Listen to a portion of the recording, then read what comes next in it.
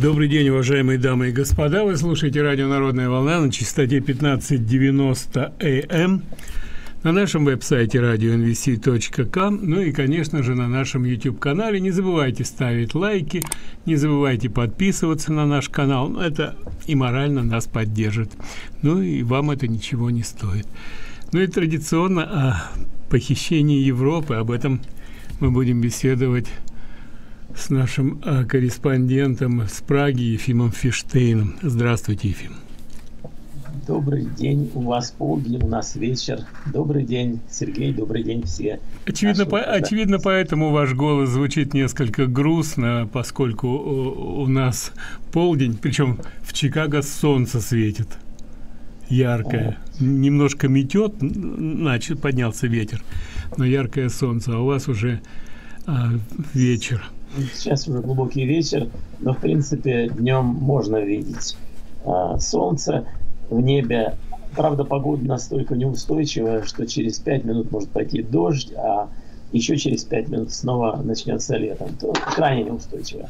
Но не в этом дело. Погода всегда была по-своему неустойчивой. Представление о том, что существует некая правильная, устойчивая погода, э, в корне фальшиво она никогда не была и не будет устойчивой. Ну хорошо. Знаете, вот я, например, буквально вчера, а может быть и сегодня утром, прочитал, что ваш замечательный президент Байден сбежал из штата Огайо, Огайо, Огайо по-русски, э, где у него намечались какие-то встречи с местными детьми. И сбежал он не, не просто так, он сбежал как он официально заявил, вернее его пресс-секретарь официально заявил, из-за событий в Европе. Тем самым Байден нам дает возможность поговорить о Европе. Что же за события такие чудовищные? Ну, нельзя сказать, что Байден тут же развернулся, пересел на другой самолет и полетел в Европу, пока я этого не, не заметил. Эм, но события, это, конечно, здесь событий достаточно. Не все они привлекают внимание нашего замечательного президента. Мне здесь вспоминается, буквально на днях я видел видосик, как сейчас говорят в России, одного очень известного российского журналиста, живущего сейчас за рубежом. Он просто восхищается позицией Байдена в украинском конфликте. С большой иронией рассказал о том, как некоторые его недооценивают, говорят о его э, инертности, проявлениях геронтологических заболеваний и прочее, прочее. Зато он, этот наш журналист, считает Байдена скалой. Он так сказал, Байден – это скала, о которой разбиваются все волны путинской империи. Ну что ж, я подумал, скала действительно один из видов окаменелостей. Возможно, можно его назвать скалой. Только скала вряд ли способна на какие-то действия. Она потому и называется скалой, что она торчит себе, торчит там, где, собственно говоря, э, природа и какие-то тектонические причуды ее поставили. Так и наш американский президент торчит там, где его посадили, и там он будет и торчать. Так вот, что же происходит такого в Европе? А, ну, можно было бы предположить, что он выехал из-за Мюнхенской конференции по безопасности, которая действительно открывается буквально сегодня в городе чье название она и носит, эта конференция в Мюнхене. Это мероприятие когда-то было, я бы сказал, э, решающим в процессе каких-то политических изменений, в политическом процессе, проходящем в Европе. Сейчас это уже не так. Этой Мюнхенской конференции по безопасности можно даже сказать, никто фактически и не замечает. Ее значение резко упало. А ведь были времена, они, правда, прошли. Когда там российский президент Путин в 2007 там произносил знаменитые речи, э, которые были восприняты как начало или объявление холодной войны, но потом было пересмотрено такое мнение. Но было очень э, важно само событие Мюнхенской конференции по безопасности в мире. Она, кстати, это не европейская. Может быть, скала Байден – решила приехать туда и чего-то такое, как скала, выдать на гора принципиальную позицию. Я сомневаюсь в этом. поскольку и Путин не собирается туда, хотя организаторы говорят, что, возможно, он обратится с какой-то видео речью, с выступлением по видео, пока и этого не намечается. А, пример того, насколько потеряно значение этого мероприятия. Если в пред... на предыдущем заседании этой Мюнхенской конференции прошла она совсем-совсем недавно, без году неделя, может быть, в прошлом, может быть, позапрошлом, не раньше. Так вот, если на прошлом заседании, на Мюнхенской конференции было 2000 участников, а участники это не простые смертные, это в основном главы государств, в худшем случае министры иностранных дел. Так вот, этих участников было 2000 человек, то в этом году намечается участие 600 человек. Это решительное сокращение, а следовательно и сокращение и понижение значения самого формата Мюнхенской конференции по безопасности. Решение ее я вам сегодня сказать не могу, поскольку она только открывается сегодня и продлится три дня, но мы услышим, может быть, в следующем даже моем выступлении в программе похищения Европы мы услышим о результатах. А может быть и не услышим, что будет означать, что результатов никаких особенно и нет. Вообще-то это поразительно, потому что ведь все одним голосом говорят, что еще никогда, или во всяком случае очень давно в Европе не было такой напряженной ситуации, как сейчас.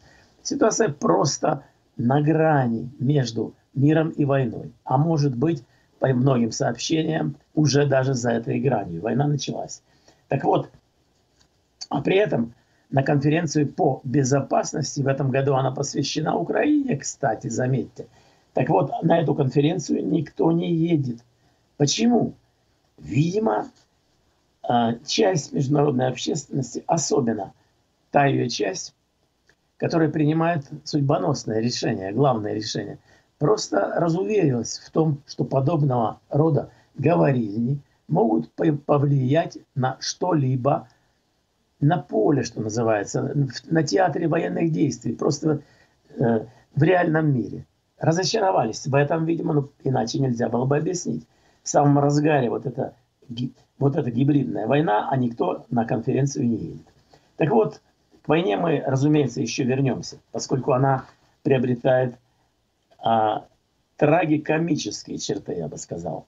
Трагедия – это то, что могло произойти и пока не произошло. Ну, а комедия здесь просто пруд, пруди. Почти все комично.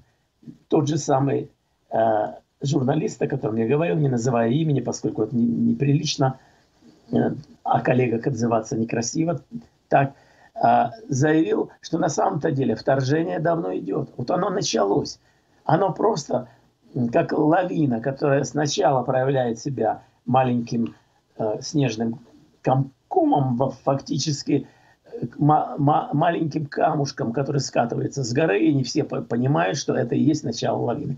Так вот, у пивного ларька там в Киеве подрались э, русскоязычные, украиноязычные. Это уже и есть начало вторжения.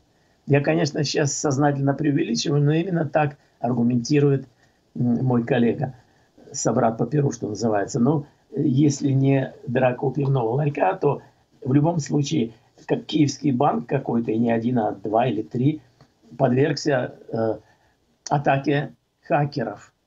Это распространенная э, забава, распространенное времяпровождение многих в России, на Украине, но не только там, заметьте, не только там. Так вот, какие-то банки подверглись, подверглись э, хакерской атаки. И это и есть начало гибридной войны, а все остальное последует. Все остальное мы будем свидетелями всего остального в ближайшие несколько дней, а может быть и пару недель.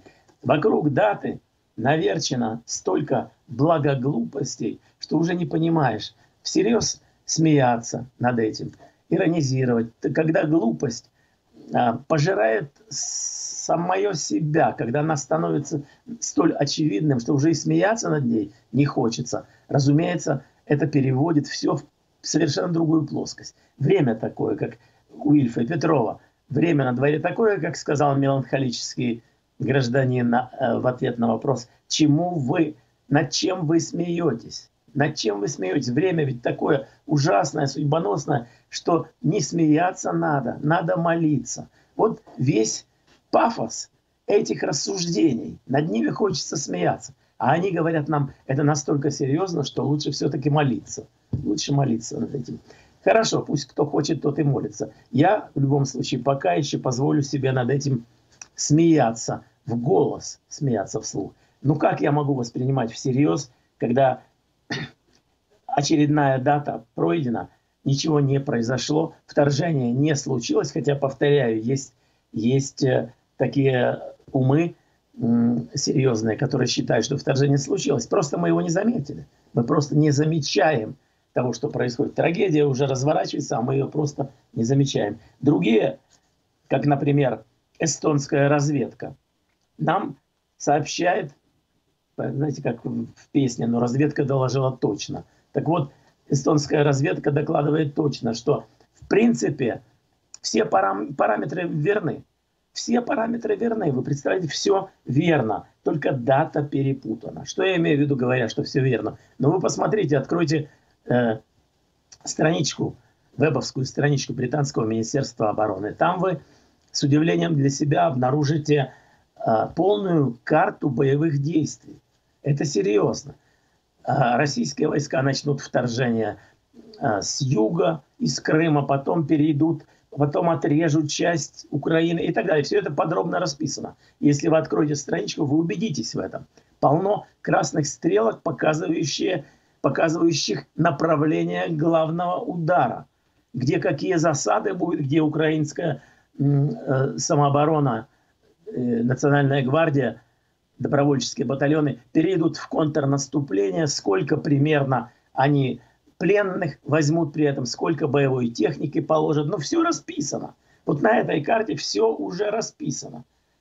Количество павших известно по э, данным агентства Reuters это будет 25-50 тысяч. Но, но Гос, Госдеп предложил считать лучше от верхней цифры исходить, что нужно, чтобы э, не меньше 50 тысяч будет все-таки поляжет в этих битвах. Ну скажите, над этим смеяться, наверное, грешно. Но как же не смеяться?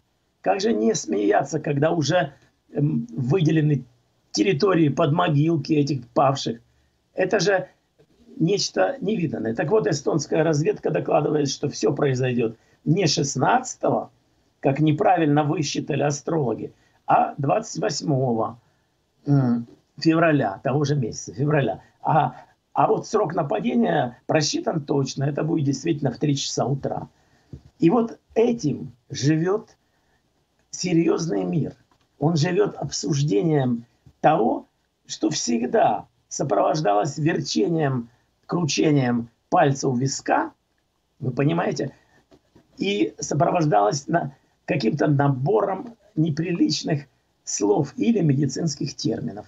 Но это на самом деле обсуждают серьезные люди, полагая, что перед ними лежат серьезные выкладки и что иначе и быть не может. Ну что ж, посмотрим. Подозреваю, что если это не, опять не произойдет, то будет принято решение, что это и есть окончательное доказательство того, что это вторжение неизбежно, неизбежно, причем в ближайшее время. Именно потому, что оно не произошло, а Путин коварен, он знает секреты, он понимает, что он не может иначе отреагировать. Ефим, я вас на секундочку перебью. Вот вы сейчас рассказали о том, что э, Американская разведка располагает неопровержимыми доказательствами и абсолютно точными данными, что, куда, откуда движется, куда, какое будет нападение.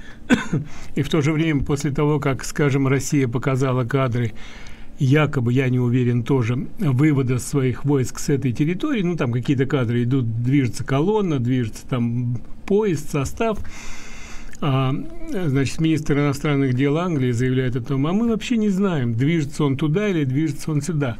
Так как же работает разведка тогда? То есть разведка точно знает, что вот 16 числа ударит, какое направление будет, и в то же время разведка не знает, в каком направлении движутся составы с, э, с бронетехникой. Ну, разумеется, так... это очень трудно узнать. Это невозможно. Ни сателлиты, ни спутники. Да, конечно. Это да. сверхтехника. Узнать этого совершенно не можно. И вообще какие-то а какие-то последнее время, я не знаю, насколько они правдивы, э, информация поступает различная. С одной стороны, а, происходит какой-то обстрел, а заявляют о том, что украинские войска вот не сегодня, завтра должны начать наступление на Донецк, об этом уже как бы точно известно в чем-то из разных источников. С другой стороны, вот последнее сообщение о том, что в Донецке прозвучал какой-то колоссальный взрыв. Вообще, э, честно говоря, если... Я не знаю, может быть, я ошибаюсь. Я сейчас не пытаюсь, так сказать, ничью сторону взять, я пытаюсь смотреть как бы э, со стороны. Если э, украинские войска двинутся на Донецк, это, наверное, и послужит сигналом для того, чтобы русские начали какую-то какие-то контрдействия? Несомненно. И еще При можно этом, и вообще ну, в принципе можно ли военным путем а, решить эту проблему? Вот если, скажем, зайти, э, скажем, украинские войска зайдут в Донецк, там переколошматят кого-то. А, да, в то же время руководители ДНР со сообщают о том, что а, при не приказано, предложено, вернее, русскоязычное население массово покидает Донецк, и там уже в России выделили какое-то место для того, чтобы их там поселить. В общем, а, а еще, что меня, а, у меня какая-то мысль такая нехорошая, что все то, что происходит вот сейчас, а, ту карту, которую разыгрывает, скажем, Россия на границе с Украиной, это такой отвлекающий маневр. И я сейчас говорю о Китае. Я имею в виду Китай. Ну, я не хотел бы все смешивать в одну кучу, получится ну, куча мало. К сожалению. Разумеется, Китай здесь все время в игре, но он, а, он закулисный, закулисная тень, закулисная фигура. А, разумеется, не принимать в расчет может только идиот. Но я хочу сказать, что то, что вы сейчас сказали, а именно объявленная эвакуация русскоязычного населения из Донбасса, якобы в преддверии, в канун полный канун решительного украинского наступления, это из того же бреда. Понимаете, это вырвана страничка из той же книги бреда. Безумие, охватившего человечество. Безумие это с одной стороны, и с другой. Надо ясно сказать, что от России, особенно от путинской, можно ожидать всего, чего угодно. Но в принципе, ведь из этого должна серьезная западная политика исходить. Она не обязана верить ничему, но она обязана работать с фактическим материалом, а не с домыслами типа того, что война начнется в 3 утра. Это же полное позорище. Это насмешка, кстати говоря, над интеллектом, над традициями разведывательного сообщества. Не пристало серьезным разведкам выдавать такую чушь на горах, которая опровергается буквально в тот же день, когда было заявлено начало войны, естественно. Потому что она не начинается по заявкам. Войны вообще. Путин сказал, войны не начинаются в среду, как, которая назначена, среда назначена была для начала войны. И, в общем-то, сказал метко. Но я повторяю, от путинского режима можно ожидать чего угодно. Поэтому нелеп, вот нелепо замечание, что вот вы говорите о слабостях Запада, значит что? Значит, Путин прав – да нет же, правых здесь нет. Но это война идиотов. Это война дебильных разведок и дебильных интеллектуальных центров, которые предлагают нам на веру взять нелепое построение, абсолютно нелепое. Вот что, честно говоря, что мы нас должно было возмущать. За кого, в принципе, нас принимают? Мы все-таки привыкли в прошлом гораздо более серьезным игрокам, которые нам не предлагают вот таких побасенок и не заставляют нас в это верить. Но сейчас понятно, что поскольку вся, все идейные конструкции сейчас основаны на извращении смыслов, на э, удалении, на удалении смысла из словарных значений слов. Да? Нам говорят война, а имеют в виду что-то совсем другое. Нам говорят смерть, а имеют в виду совсем другое. И так далее. Вот это то, что нам пытаются, это называется промывать мозги, в общем-то. Нам пытаются вымывать мозги. Потому что, обратите внимание, нынешняя, каково нынешнее как бы положение дел. Мы все-таки открутили какую-то часть ленты, мы видим, где мы находимся. Где же мы находимся? Мы находимся в точке, когда нам говорят, вот такое состояние теперь будет постоянным. Мы не отменяли предсказание о войне. Она непременно случится, но не сегодня, завтра, может быть, послезавтра. Мы будем менять сроки начала войны, и это нормально, поскольку война будет висеть в воздухе. Кстати, не случайно было сказано, что наконец-то НАТО, блок НАТО, нашел решение своей проблемы. Он было потерял свое целеполагание, он не знал, для чего он существует. Но вот познал, вот ему судьба подкинула вот такой шанс. Значит, что же, как понимать это? Это значит, что всегда и постоянно нужно будет иметь коварного врага, который готов напасть на Европу в любой момент. А мы в любой момент должны быть готовы дать ему отпор. Появляется новый смысл существования НАТО. Так действительно, ведь можно просуществовать еще пару десятков лет, если постоянно подменять даты вторжения, но при том, что сохраняется сам смысл и, я бы сказал, суд, ос, э, характер, судьбоносный характер этого вторжения, он сохраняется. Просто он откладывается до лучших времен, что называется, причем эти времена могут наступить в любой день, в любой момент. Вот такую схему жизни нам предлагают. Это жизнь в постоянной тревоге, а не начнется ли ночью в 3 утра э, Третья мировая война. Ну, вот такая абсурдная ситуация складывается в Европе сейчас. Я понимаю, что она складывается не только в Европе. Параллельно проходят весьма любопытные события, о которых нельзя не упомянуть. Что я имею в виду? Коронавирусная инфекция пошла на спад. Эпидемия пошла на спад, очевидно. То есть цифры заболеваемости растут. Буквально сегодня в Германии 235 тысяч новых инфекций. Понимаете, числа, цифры умерших не растут, в основном падают по Европе. Зато, и вот о чем я хочу, к чему я веду, противоречие, по мере того, как ослабевает инфекция, ужесточаются некоторые, э, некое законотворчество, направленное на подавление личных и коллективных свобод и прав населения. То тут, то там, то э, во Франции принимаются меры против выражения недовольства. Это важно понять. В Австрии сейчас отменяют, скажем, ковидные паспорта при посещении каких-то заведений, но э, отрицают право населения, скажем, проводить демонстрации в каких-то местах, в каком-то количестве, там, где они могут коснуться прав других законопослушных людей. Им говорят, австрийцам – французам говорят, вы имеете право э, проводить демонстрацию, но там, где это никому не мешает, в поле, может быть, на опушке где-нибудь, собирайтесь и кричите. Но в центре города делать этого нельзя. Как известно, свобода кончается у носа вашего соседа. Вам нельзя размахивать руками там, где начинается нос, нос вашего соседа. А ведь найдутся всегда, и мы видим это, скажем, по Канаде, найдутся всегда старушки, которые говорят, а мне, я не могу жить, когда гудят автомобили, эти грузовые, не могу жить. Моя свобода играет роль или нет? И власти отвечают, ваша-то и играет главную роль. Не знаю, заметили ли наши слушатели то, что а, премьер-министр Канады сделал... Я думаю, что мы об этом поговорим отдельно. Очень большая тема, очень много информации на этот счет. Тогда Давайте напомните мы... мне, Сергей, о, о колоссальном открытии в области соц... обществоведения, скажем так, которое сделал премьер-министр Канады Трюдо. Об этом мы сразу после небольшой рекламной паузы поговорим. Возвращаемся в программу Ефима Фиштейна «Похищение Европы». Телефон в студии 847-400-5200.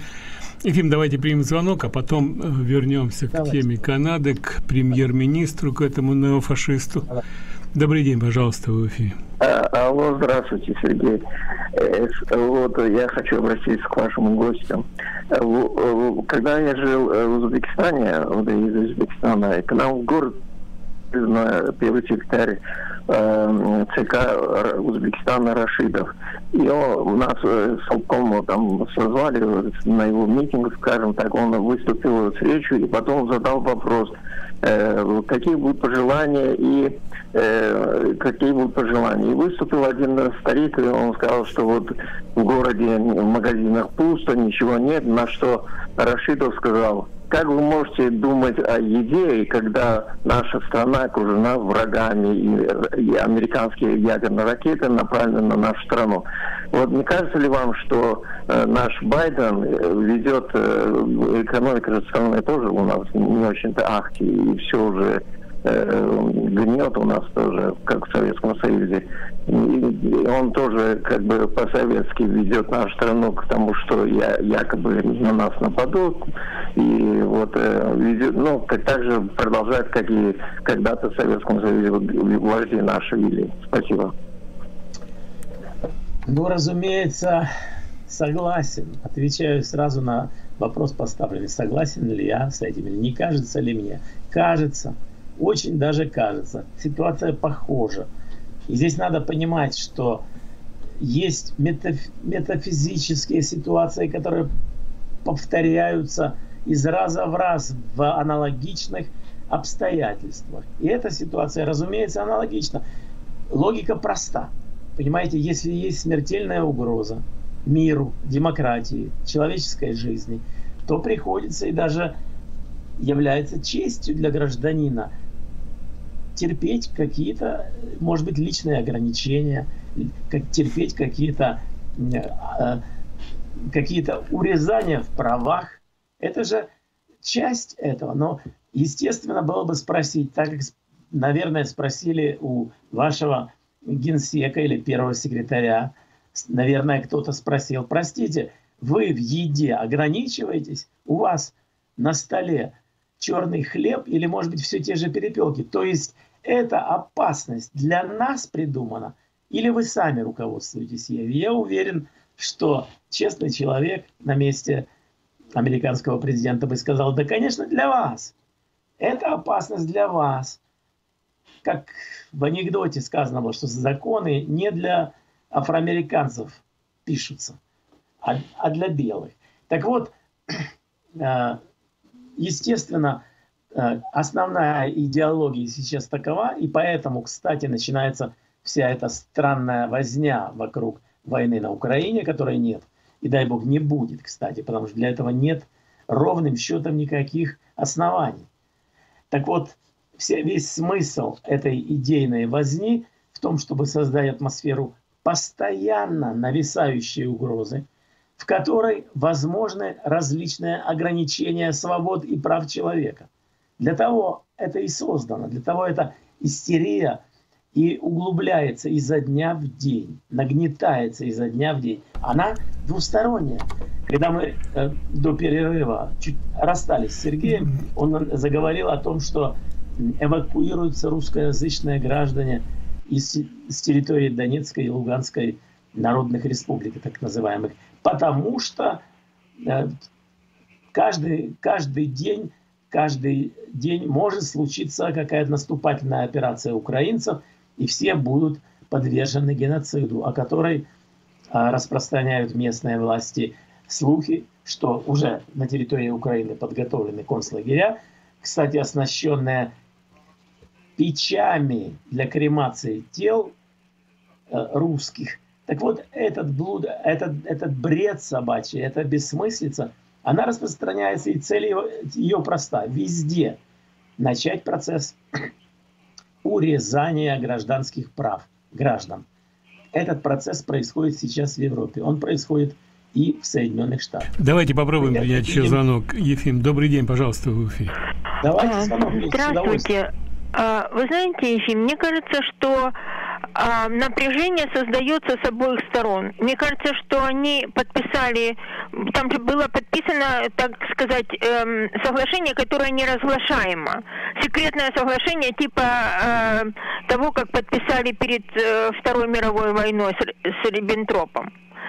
Вот. И э, Путин специально нагнетает вот это вот напряжение, никаких войск он не выводил. Вы помните, сколько раз он из Сирии выводил войска? но они там до сих пор находятся. Вот точно так же он выводит войска и оттуда, для, для видимости для нас с вами. Вот. И э, не знаю, э, когда-нибудь это сойдет на нет или нет, или так они эти, э, эти войска останутся стоять на границе навечно. Но э, у меня очень плохие предчувствия, потому что никогда Путин от Украины не отстанет. И его цель захватить Украину, э, ну не всю, ему западная не нужна абсолютно, а вот восточную это его цель жизни.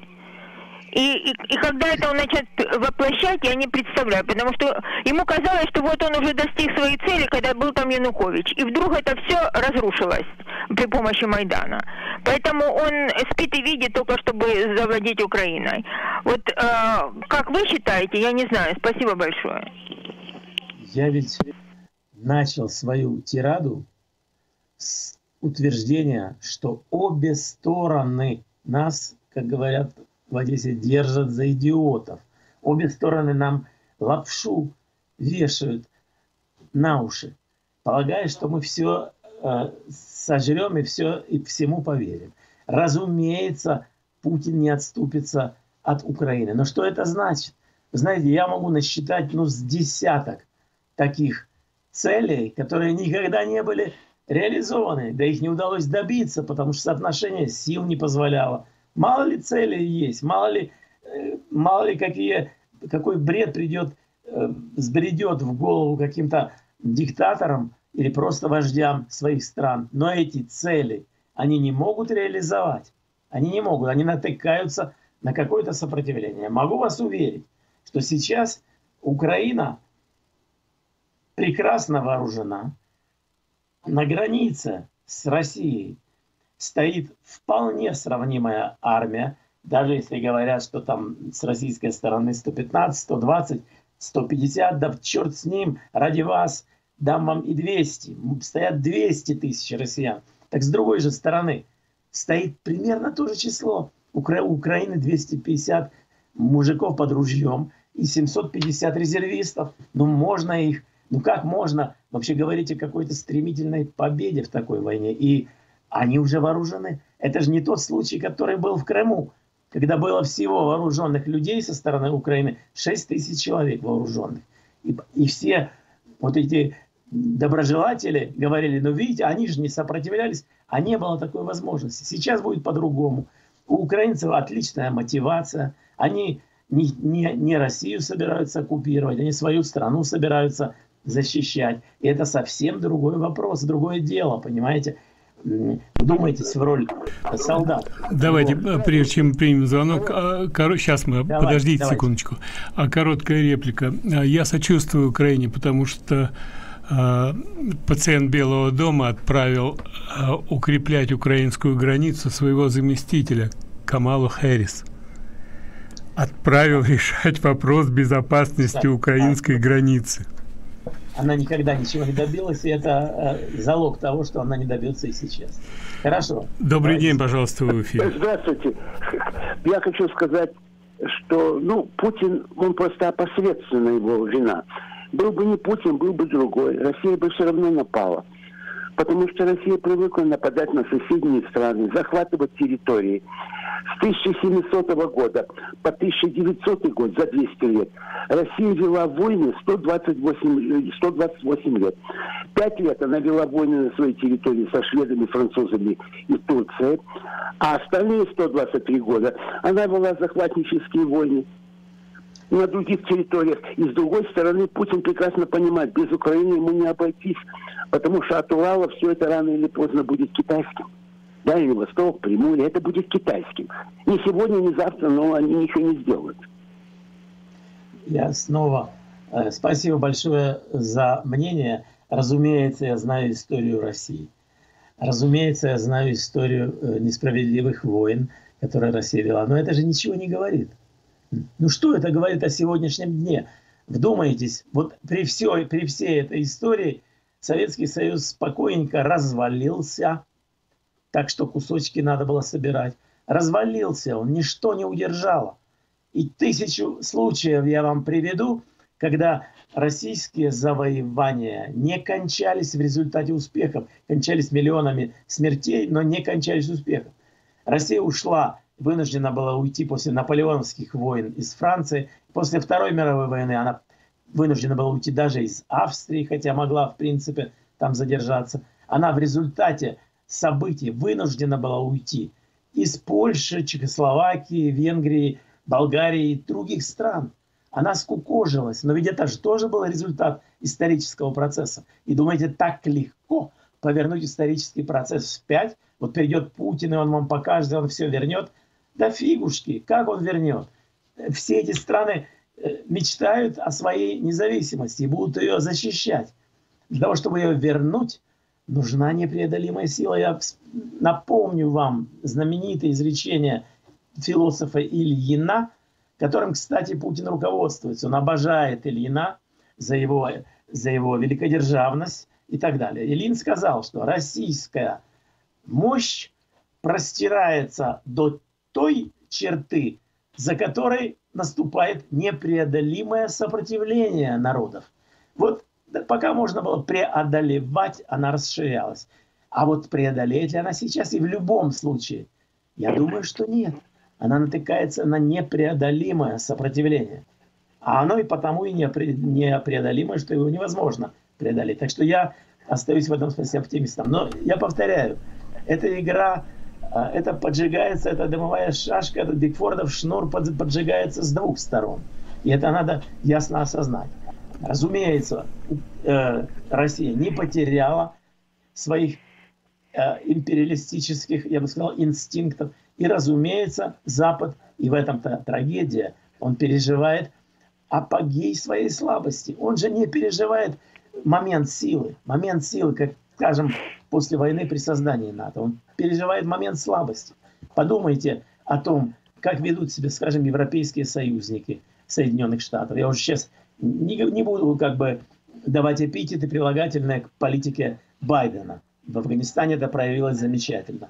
Сейчас, между прочим, войска э, Организации Объединенных Наций, то есть фактически иностранный легион Франции и других стран э, сбежали из Мали тоже. Ну, Бог с ним, я не стану давать им характеристики. Давайте сказать, попробуем принять, принять еще звонок. Европы поражает своей непоследовательностью. Просто закончу предложение. Франция тянет в одну сторону, а Германия тянет в другую. Добрый день, пожалуйста, вы в эфире. Здравствуйте. Здравствуйте. Во-первых, я хочу сказать спасибо Ефиму за его позицию. Молодец. Потому что я с ним солидарна на сто процентов. Нас хотят сделать безмозглыми дураками в Америку. Америка уже вроде бы подчиняется, но я надеюсь, что она еще поднимется против кукловодов, как их называют, против того, что делается через Белый дом. А Украину мне очень жалко. Я родилась на Украине, но вырасти пришлось из-за войны в Казахстане. Очень хорошо там было во время войны нам. Но Украина стала камнем преткновения не случайно, потому что Путин никак этим кукловодам не поддается. Америку они уже старались и делают дурной, никчемной, а вот Россия противостоит. Это единственное, за что я говорю Путину молодец. Дай Бог, чтобы выстояли, чтобы Америка поднялась и этих кукловодов отправила подальше, даже в тюрьму. Спасибо, Спасибо Сейчас за вашу перейдем. передачу. Спасибо. Сейчас мы я как раз перейдем на наш континент. Я разделяю э, ваше ваши чувства. Я и сам родился на территории Украины, я киевлянин, так что мне понятна и сложная судьба этой территории. Я испытываю некоторое воодушевление и, и любовь к этому народу, который не является народом-государственником. Он никогда не попал вот в эту западню, когда свое собственное величие каждый человек измерял величием страны, величием государства. Украинцы всегда были себе на уме, у них не было царей и не было царепоклонения. Так что царепоклонство. Так что это очень интересная штука. я тоже надеюсь, что американцы со временем поймут, но хотелось бы, чтобы они поняли это раньше, чем тогда, когда будет уже поздно. И когда, несомненно, новые, как вы говорите, кукловоды попытаются столкнуть по-настоящему, и это будет не нынешнее подсчет часов, которые остались до войны, это будет реальное и очень длительное противостояние тоталитарных режимов, потому что они уже по меткому слову, по ясновидящему представлению Орвела, эти режимы находятся в стадии формирования. Китайские и российские сформированы практически, а американские как раз формируются. Ну и теперь к тому, что происходит в Европе, ой, в Европе, в, в Канаде под руководством тех самых кукловодов тех самых глобалистов, потому что я все-таки сомневаюсь, что у этого танцора достаточно, достаточно гад, чтобы он сам, так сказать, по собственной инициативе принимал подобные решения. Я думаю, что здесь и даже, даже, даже какие-то меркантильные интересы. Есть информация, что он закупил там 400 миллионов доз вакцин на 40-миллионное население. А, это явно афера, это явно коррупция. Я не думаю, что даже это а, может быть мотивом а, для того, чтобы поступать подобным образом, принимать вот подобные решения.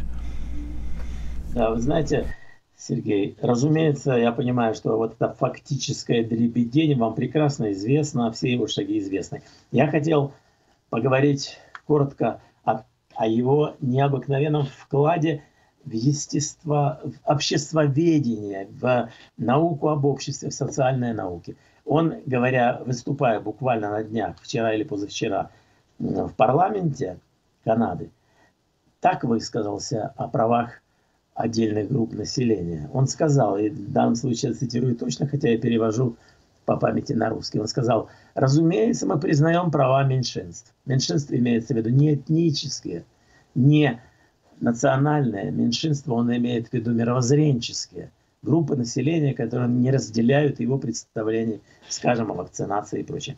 Он сказал, мы, разумеется, уважаем права меньшинств, но пора понять, сказал он, что есть свои права и у большинства. И права большинства всегда превзойдут и как катком прокатятся по этим правам меньшинств.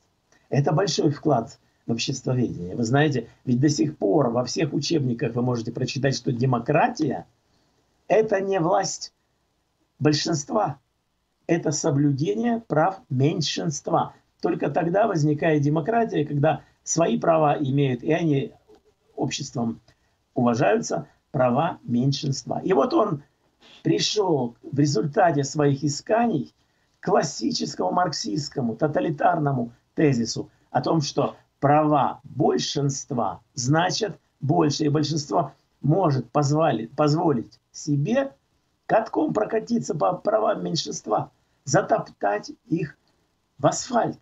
Вы понимаете, это же колоссальное нововведение, которое нас возвращает к истокам различных тоталитарных учений. Марксизма, ленинизма, марксизма, энгельсизма и прочих, байдонизма. И, и, разумеется, и относится это к фашизму, поскольку и там права большинства считались определяющими, а не права меньшинства. То есть сейчас на выбор, сейчас выворачивается наизнанку понятие демократии. Оно приобретает совсем другое значение. Не как права и соблюдение прав меньшинств, а как доминирование, господство прав и представлений большинства. Я оставляю в стороне вопрос, с чего это он решил, Трюдо, что на его стороне большинство. Он что, подсчитывал? Нет, он прямо сказал, таковы, таков был итог последних выборов, значит, на моей стороне большинство. Вот здесь мы сталкиваемся с принципиально новым явлением, новым феноменом, который подкреплен такими его действиями, как аресты, конфискация имущества, закрытие банковских счетов. Это ведь небывалое в истории демократии явление, когда у людей, провинившихся по идейным соображениям, ведь вся их вина в том, что они принесли буханку хлеба этим дальнобойщикам. Это не, не авторы памфлетов, листовок и каких-то теоретических трудов. Нет, это люди, которые приносили хлеб, еду, кто бензин дальнобойщикам. И вот эти люди поражены в правах, потому что у них заморожены их счета в банке, заморожены. Вы понимаете, их могут, если они покаятся, разморозить, а могут и нет. И это значит, что ваши сбережения или, может быть, даже зарплата просто к вам в руки не попадает, и вам не с чего жить. Вот так наказывается, вот так наступает тотали, э, тоталитарный режим, так незаметно вроде, так он подкрадывается незаметно, но он именно таков. И здесь у меня завершение почти передачи есть одно серьезнейшее опасение, что именно этим путем, пойдем другим путем, как говорил товарищ Ленин, и что именно этим трюдовским, трюдоовским путем пойдут и американские власти, которые постепенно подготовят почву для того, чтобы следующие выборы, даже промежуточные, представить как недействительные, поскольку были нарушены права большинства, которые почему-то представляют именно они.